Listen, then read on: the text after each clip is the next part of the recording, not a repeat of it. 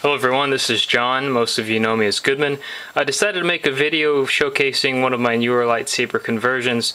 Uh, this, as you can see, is a Qui-Gon Jinn, very rare lightsaber to find. This is the Larbel EL Ready version.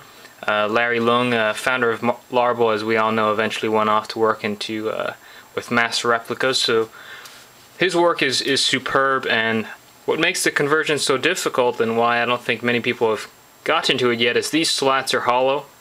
Um, as you can see, the light goes all the way through, so the only space you have really to work with is this bottom piece and a little bit of the base. I'll go to that in the second video, which will show the guts of the Saber. For now, I just wanted to do a quick feature um, showing the LedEngin 10 watt LED.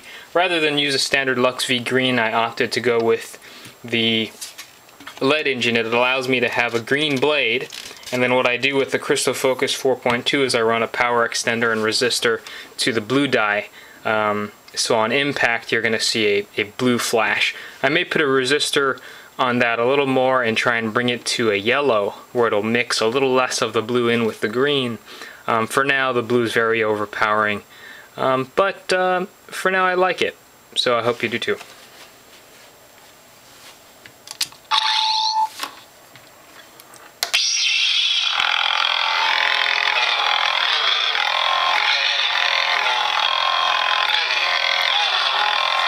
So this is a crystal focus. As you can see, it's got a nice uh, pulse to it.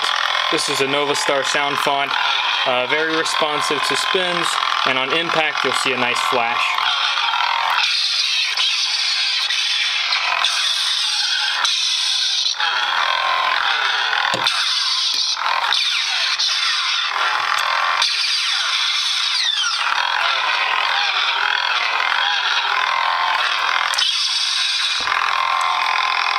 that's it.